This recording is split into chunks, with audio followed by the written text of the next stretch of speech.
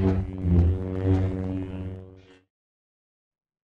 วันนี้กลับมาเจอในรายการสับเนอร์สับของดีไซเนอร์รายการที่จะมาเล่าความสำคัญของสับที่มันเกิดขึ้น และเล่าว่าที่มันเกิดขึ้นกับสถาปัตยกรรมในเมืองไทย พี่อยากจะเล่าให้มันเหมือนเราไปนั่งคุยกับคุณปู่คุณย่า เราไปนั่งคุยกับคนที่เขาผ่านประสบการณ์อะไรมา แง่มุมของการเล่าของพี่อาจจะไม่ได้แง่มุมของตัวสถาปัตยกรรมอย่างเดียวเราอาจจะอยากได้แง่มุมของไซด์เวย์ของความรู้ต่างๆ เพราะพี่รู้สึกว่าความรู้ที่สำคัญที่สุดไม่ใช่ความรู้ที่มันเป็นความรู้เดียว มันก็อาจจะต้องเป็นความรู้ที่หลากหลายประกอบเป็นโมเดลเดียวมา เพราะฉะนั้นที่มาที่ไปของตัวสถาปัตยกรรมที่เกิดขึ้นเนี่ยมันไม่ได้มาจากงานดีไซน์อย่างเดียว มันมาจากพฤติกรรมการใช้ชีวิตมันมาจากเหตุผลทางธุรกิจมันมาจากเหตุผลทางนิสัยของคนที่อยู่ในยุคนั้น ความสนุกคือเราได้มาเล่าเราได้มาแชร์กับคนรุ่นใหม่ แล้วคนรุ่นใหม่ก็จะได้เห็นประวัติศาสตร์ที่ดีที่สุดคือการนั่งฟังและมีความสุขอยู่กับมัน อันนี้คือสิ่งที่เราได้ความรู้ที่สุดและนี่คือสิ่งที่เราจะเล่าเกี่ยวกับสัมเนอร์สัมเนอร์ตอนนี้เป็นตอนที่ 2 เกี่ยวกับเรื่อง facade เป็นหน้าตาเป็นเปลือกของอาคารอย่างหนึ่งเนาะจริง ๆ แล้วห้างเนี่ยเป็นห้างที่เกิดก่อนโซโก้ด้วยซ้ำก็คือห้างไทยไดมารูถ้าน้องๆฟังอยู่ ถ้าเด็กกว่าอายุ 30-40 นั้นไม่รู้แน่นอน เพราะว่าห้างเนี้มันเปิดเมื่อปี 2507 จนปิด 2543 เพราะฉะนั้นมันจะต้องเป็นคนที่ gen ประมาณสัก 40 ขึ้นถึงจะได้สัมผัสความเป็นไทยไดมารูจริงโซโก้เขามาเปิดหลังไทยไดมารูนะไทยไดมารูอะในยุคนั้นเราจะรู้สึกว่ามันคือ Bauhaus คือ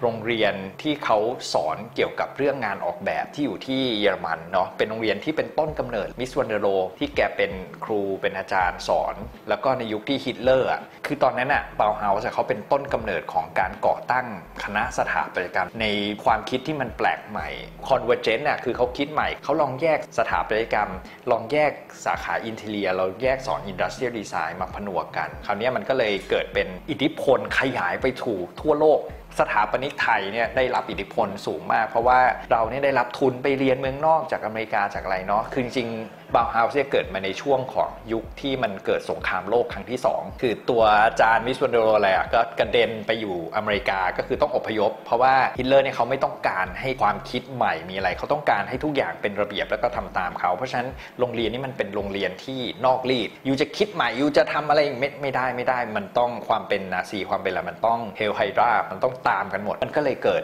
การแผ่อิทธิพลของความเป็น modern ตัวหลักสูตรของสถาปัตยกรรม ก็เลยแผ่เข้าไปดังที่อเมริกายิ่ง Mies van der Rohe แกไปที่ Illinois Urbana-Champaign ด้วยเนี่ยมันก็เข้ามาสู่บ้านเราในยุคนั้นแหละ เพราะว่าตัวสถาปนิกบ้านเราอะเขาก็ไปเรียนกลับมา ได้มีการก่อตั้งอาสาหรือสมาคมสถาปนิกสยามในพระบรมราชูปถัมภ์ในประเทศไทย แล้วมันเกิดคำว่าสถาปนิกในช่วงประมาณ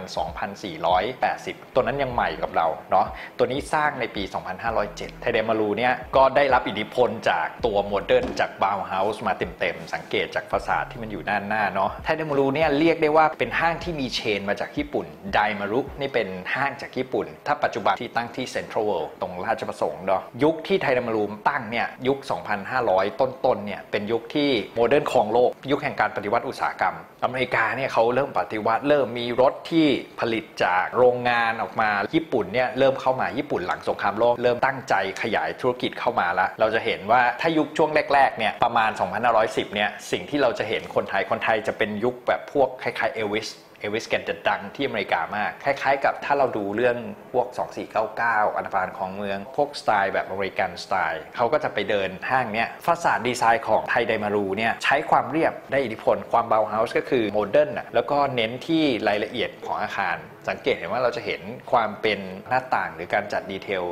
ต่างๆเนี่ยมันจะเป็นรูปฟอร์มของเรขาคณิต หรือบางทีไม่ต้องมีเลย ไม่ต้องมีหน้าต่างไม่ต้องมีอะไรเขาจะขึ้นดีไซน์ออกมา แต่ก่อนเนี่ยของเราอะในยุคนั้นน่ะการที่เราจะขึ้นดีไซน์อะไรมันจะต้องมีเหตุผลว่าทำไมถึงขึ้นดีไซน์นั้น แต่เนี่ยก็คือมาเต็มๆเลยเป็นยุคแรกเลยเนาะเน้นความเฉียบ เน้นความเป็นสี่เหลี่ยม แล้วก็เอกลักษณ์ที่เป็นของไทยไดมารูเนี่ยมันคือความเฉียบตัวฟอนต์เนี่ยมันจะมีอักษรอยู่ตรงหน้า ตรงเมนเอนทานเลยเนี่ยเป็นเอกลักษณ์เลยคำว่าไดมารุก็คือ D I A M A แล้วก็ R U เนาะมันจะเป็นดีไซน์ที่มันมีอยู่ยุคหนึ่งที่ทุกคนเนี่ยพยายามที่จะเอาเมนเอนทรานส์เมนทรานก็คือทางเข้าหลัก อย่างเช่นอาคารถ้าเป็นสี่เหลี่ยมเขาก็จะตัดเอาตัวตัวมุมนี่แหละ แล้วก็ตัดออกมาเพื่อให้มันเฉือนออกมา ให้มันมีความรู้สึกว่ามันเป็นเฉียง มันจะทำให้ไอตัวเฉียงเนี่ยให้ความรู้สึกของทางเข้านี่มันค่อนข้างเด่นเนี่ยแล้วเขาก็จะสร้างบันไดขึ้นไป แล้วก็จะมีป้ายขึ้นมาไทยเดมารูเนี่ยเขาอยากทำป้ายแบบนอนทั่วไปนี่แหละ แต่เนื่องจากดีไซน์ดีไซน์มันตั้งตรงมา ถ้าพูดถึงไทเดมารูเนี่ยคำพูดที่ติดปากของ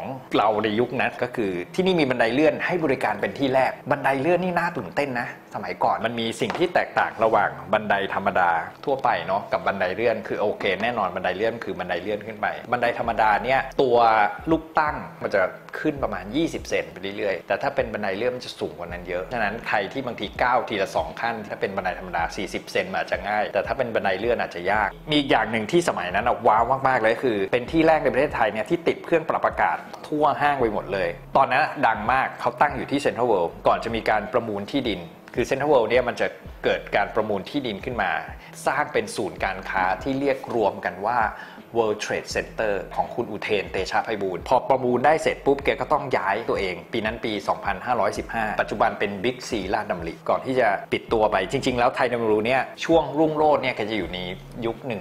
1981 เป็นช่วงยุครุ่งโรจน์เลย ถึงขั้นขยายสาขา 2 ตอนนั้นน่ะไทยเดมารูเนี่ยมีอยู่ที่ราชประสงค์สาขาแรก เราต้องเข้าใจก่อนว่าการตั้งอยู่ที่ราชประสงค์เนี่ยครอบครัวหรืออะไรเนี่ยชุมชนคนญี่ปุ่นน่ะเขาจะอยู่เส้นสุขุมวิทเขาจะมีกำลังซื้อเพราะมันเป็นศูนย์รวม ได้ทั้งกำลังซื้อทั้งคนไทย ทั้งคนญี่ปุ่น ทั้งอะไรพวกนี้ด้วยมันเป็นไข่แดง มันเป็น Central Business District มันเป็นศูนย์กลางเศรษฐกิจของกรุงเทพ เขาเลยคิดว่า เฮ้ย ถ้างั้นเราอยากตั้งสาขา 2 concept ของการตั้งสาขา 2 คือการที่ตั้ง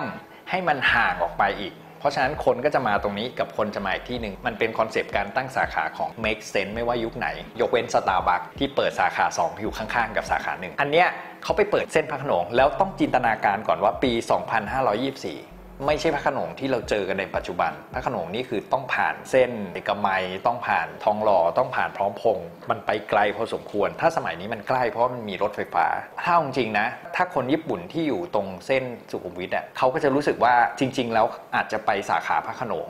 ดีกว่า แต่ว่าจริง ๆ แล้วสุดท้ายอะกำลังซื้อของคนพระขนงมันไม่เยอะ ตอนนั้นมันยังไม่ได้เจริญ มันก็เลยเป็นการตัดสินใจที่ค่อนข้างผิดพลาด แล้วก็โซนลาดน้ำดีเนี่ยมันเป็นโซนของเศรษฐี เงินมันเยอะจริงๆไทยในมารูเนี่ยไม่ได้อยู่ได้ด้วยคนญี่ปุ่นอย่างเดียวนะ คือจริง ๆ แล้วอยู่ได้ด้วยกำลังซื้อของเศรษฐีประตูน้ำด้วย เพราะว่าประตูน้ำอยู่ข้างๆหลายคนบอกว่าเฮ้ยประตูน้ำเนี่ยมันจะมีห้างที่เรียกว่าพาต้าอยู่ตรงอินทรา ช่วงนั้นก็จะมีเศรษฐีใหม่จากประตูน้ำในช่วงยุคประมาณ 2515 นี่เป็นช่วงยุคบุกเบิก ยุคเกาะตัวของตลาดประตูน้ำเดี๋ยวเราจะมาเจาะลึกตลาดประตูน้ำ ความสนุกอีกทีตลาดประตูน้ำเป็นสิ่งที่เป็นประวัติศาสตร์อย่างหนึ่งเนาะช่วงนั้นก็คือจะเกิดเศรษฐีคนจีนเศรษฐีค้าส่งใหม่กำลังซื้อมันเยอะ แม้ว่าห้างตรงนั้นมันจะมีห้างพาต้าเช่าพื้นที่อินทรา หรือแม้แต่ห้างซิตี้คอมเพล็กซ์ซิตี้คอมเพล็กซ์เนี่ยถ้าเป็นปัจจุบันเราจะรู้สึกว่าซิตี้คอมเพล็กซ์เป็นศูนย์การค้าค้าปลีกให้เช่าพื้นที่ แต่ในยุคนั้นน่ะซิตี้คอมเพล็กซ์มีซูเปอร์มาร์เก็ตมีอะไรที่เยี่ยมเลยในยุคของต้นถนนเพชรบุรี หลายคนจะถามว่าเฮ้ยแล้วเด็กประตูน้ำอะ เขาจะมาซื้ออะไรเกี่ยวกับโซนนี้เขาก็ต้องซื้อโซนนั้น ใช่ใช่ห้าสิบหกสิบเปอร์เซ็นต์อะเขาจะซื้อโซนนั้น จริง ๆ 80%ก็จะออกไปซื้อซิตี้ออกมาเลยนะ แต่มันจะมี 10ถึง20%นี่แหละ คิดดูนะ ถ้าเราใช้ชีวิตอยู่ในโซนประตูน้ำตลอดเวลา มันก็จะน่าเบื่อถูกไหมเพราะฉะนั้นบางทีเขาจะขยับมานั่งอยู่เส้นเพชรบุรีบ้าง มาขับมาเที่ยววันอาทิตย์ เพราะฉะนั้นห้างไทยไดมารูอะมันก็คือปลายทางที่เขาจะได้มาเดิน ปัจจุบันมันก็คือ feel ของเซ็นทรัลเวิลด์นะ มันไปอยู่พระโขนงมันก็อาจจะไม่ได้ประสบความสำเร็จเท่ากับกำลังซื้อของโซนที่เขาค้าขายและมีเงิน ช่วงเปลี่ยนถ่ายไทยไดมารูจริงๆอะ มันคือช่วงปี 2537 ที่ตัวห้างไทยไดมารูเนี่ยเขาหมดสัญญาเช่ากับพื้นที่ของราชดำริเขาก็เลยย้ายตัวเองมาอยู่ถนนศรีนครินทร์เขามาเปิดสาขาใหม่ ซึ่งเป็นสาขาที่ 3 แล้วนะพระโขนงยังไม่ทันจะประสบความสำเร็จเลยก็คือมาเช่าพื้นที่อยู่ในเสรีเซ็นเตอร์ เด็กลาดกระบังเนี่ยในยุคปี 2000 เนี่ยจะรู้จักเป็นอย่างดี การเปิดของไทยไดมารูอะถ้าตรงที่ซีคอนสแควร์มันเกิดขึ้นซีคอนสแควร์เนี่ยเป็นห้างของบริษัทที่เขาทำรับเหมาสร้างบ้าน รับเหมาออกแบบของบริษัทซีคอนเนี่ยพอเขาสร้างซีคอนสแควร์ซีคอนสแควร์เป็นศูนย์การค้าที่โคตรใหญ่เลย แล้วก็ดักเด็กหมดเลย มันจะเป็นห้างหรือศูนย์การค้าของเด็กลาดกระบังในยุคนั้น เพราะลาดกระบังเนี่ยใกล้สุดที่มันจะถึงได้อะที่เดียวก็คือซีคอนสมัยนี้มันมีเยอะเนาะซึ่งเป็นที่รู้กันอยู่ว่าไทยไดมารูเนี่ยมาในนามของซีรีส์เซ็นเตอร์แพ้ซีคอนแน่นอน แพ้ด้วยขนาดและความหลากหลายของศูนย์การค้าสองอันเนี้ยมันจะเป็นแปลนแนวผืนผ้าแนวยาว แต่ลักษณะการจอดรถ การอะไรของตัวเสรีเซ็นเตอร์เราสังเกตจะจอดรถเป็นแนวยาวๆ ใกล้กับโรบินสัน รัชดา ใกล้กับเอสพลานาดลักษณะการจอดรถขึ้นไปวน แล้วก็จะจอดใกล้กับตัว Discovery ของที่สยามเซ็นเตอร์เนาะลักษณะการจอด แต่ตัวซีคอนเนี่ยมันได้อย่างหนึ่งก็คือขึ้นสะพานขึ้นสะพานแล้วมันเลี้ยวเข้าเข้าซีคอนซีคอนเขาจะมีทั้งที่จอดรถทั้งข้างบนด้วยใต้ดินด้วย ซึ่ง feel เหมือนเซ็นทรัลเวิลด์ปัจจุบันเนี่ยแล้วข้างในอะมันต่างกันลิบลับเลยใครไปเดิน ปัจจุบันเนี่ยมันคือพาราไดส์เนาะเสรีเซ็นเตอร์แต่ซีคอนตอนนั้นน่ะชนะ เพราะว่าซีคอนน่ะหนึ่งคือโรงหนังเยอะมีลานโบว์ลิ่งอยู่ข้างบนด้วย มีสวนสนุกเด็กอยู่ข้างบนด้วย มีตลาดอีเวนท์ที่เขาเปิดบูธอยู่ข้างล่าง ซึ่งมันใหญ่มาก อาหารเนี่ยคลุมตั้งแต่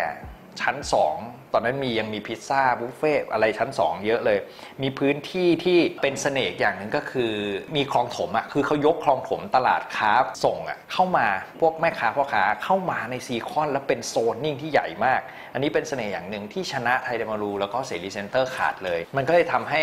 กำไรของไทยไดมารูมันเริ่มถดถอยไป จุดแข็งของการอยู่ราชประสงค์เป็นกลุ่มลูกค้าญี่ปุ่น การที่อยู่ไปอยู่ศรีนครินทร์เนี่ย มันไม่มีทางที่พวกกลุ่มเนี้ยมันจะมาได้เลย การทำ feasibility หรือความเป็นไปได้ของโครงการเนี้ยมันเกิดปัญหาเยอะ จนมาถึงในยุคของปี 2540 ยุคของฟองสบู่ เดี๋ยวไว้พี่จะมาอธิบายในยุคของฟองสบู่ ที่เกี่ยวกับดีไซน์เกี่ยวกับอสังหาริมทรัพย์อีกทีหนึ่งเนาะไทมูก็เลยโผล่สุดท้ายเนี่ยพอมันปี 2540 ปีที่ฟองสบู่แตกด้วยเขาก็เลยขายหุ้นให้กับ กลุ่มของพรีเมียร์โอสถานุเคราะห์ก็คือเขาก็รับมาดูแลอีกทีหนึ่งเนาะหลังจากนั้นบริหาร 2 ปี บริหารแล้วมันก็ยังไม่โอเค ก็เลยปิดตัวเองแล้วก็เปลี่ยนเป็น IT เต็มรูปแบบก่อนที่ปัจจุบันเนี่ยเมื่อไม่กี่ปีมาเนี่ยก็จะเปลี่ยนเป็นห้าง Paradise Park ไปเรียบร้อยแล้วก็เป็นห้างที่เขาอัปเกรดอีกทีหนึ่งเพื่อให้มันหรูกว่าซีคอนแต่ว่ายังคงเป็น Entertainment Complex เหมือนเดิม คราวนี้ก็เริ่ม มีทั้งคอมพิวเตอร์ด้วยจากข้างบนมีโรงหนังมีเริ่มมีการปรับรูปแบบไปเรื่อยๆ ก็คือดิ้นกันไป ปัจจุบันก็ก็ยังคงเป็นพาราไดซ์พาร์คอยู่เนาะในในเส้นศรีนครินทร์ความเจริญก็มาขึ้นเรื่อยๆละโอเค ก็เป็นการปิดฉากห้างไทยเดมารูในเมืองไทย คราวนี้เดี๋ยว